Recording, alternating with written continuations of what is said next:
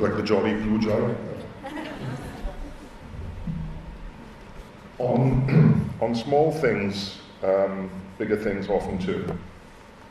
Just over 20 years ago, I had a call from an old friend who was then running a small investment company in uh, London. He explained that he'd been to see a great business in the Welsh Valleys, but it was too small an enterprise for them. But I should go and take a look. I said a trip to the valleys was good, and been there for a while, but what was it all about? Bear in mind, this was 20 years ago. He said, Welsh single malt whiskey. I asked him how much of it he drank, because in those days, that was a mad idea. If I'd wanted to lose money, I'd back a three-legged, a three-legged racehorse. I mean, it was literally uh, unheard of. But he said, cool. He said, they're great people. So it was such a daft idea, I went. And I looked around this old ratty shed in the middle of nowhere.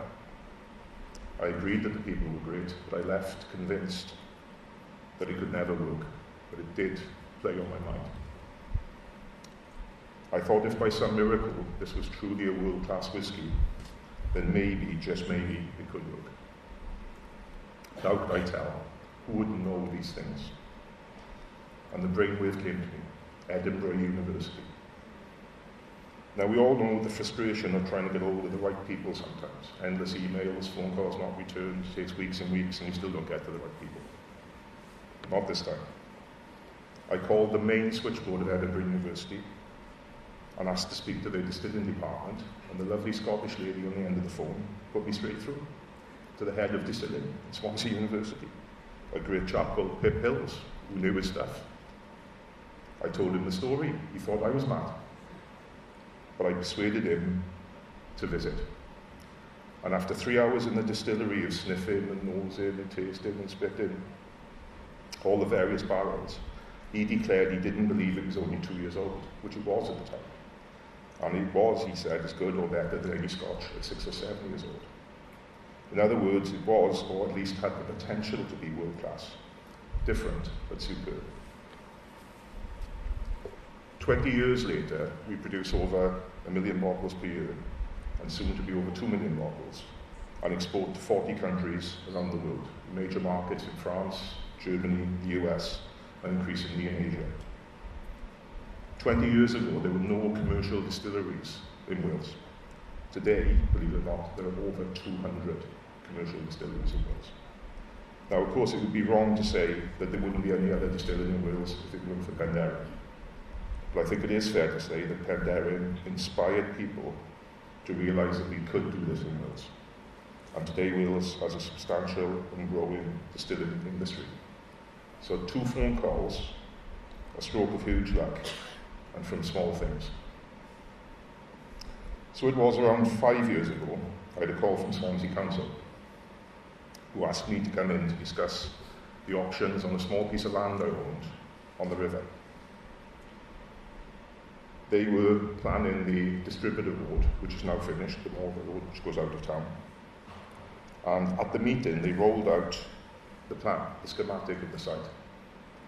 And I pointed to the end, to the north end, by the Liberty Stadium, and I said, 20 years, sorry, 10 years ago, we looked at this site as a potential new distillery and visitor centre for Swansea. Eyes lit up around the room.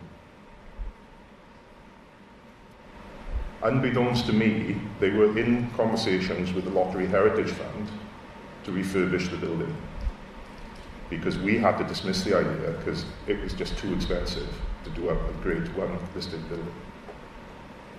So, of course, whiskey distillery, copper stills, copper pumps, the incredible heritage of the copper quarter, it was just a match made in heaven.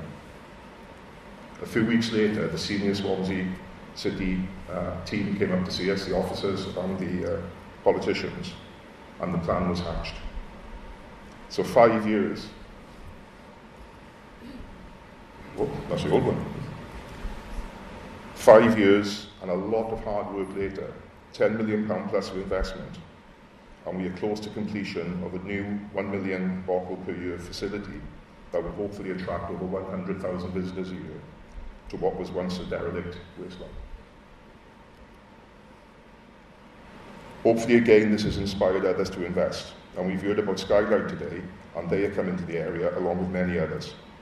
And they all have plans to make and transform the landscape of Copper Quarter into something unrecognisable. I must convey our huge appreciation to all involved at Swansea City Council, uh, Rob Stewart, uh, Robert Francis Davis, Huw Mowbray, uh, Paul Relf, uh, Tracy McNulty, and many others from Swansea. Our team of Neil Quigley and Mike Kavanagh, who's, who's up there, uh, and also, of course, everyone else involved, including the contractors, weavers, and not least uh, the National Lottery Heritage Fund. This will be a world-class facility, and of course it will tell the story of whisky, of the art and the science of making whisky. But interwoven with this will be the rich and incredible history of the copper production industry in Swansea. So one meeting, one stroke of luck, and again, from little things, big things come.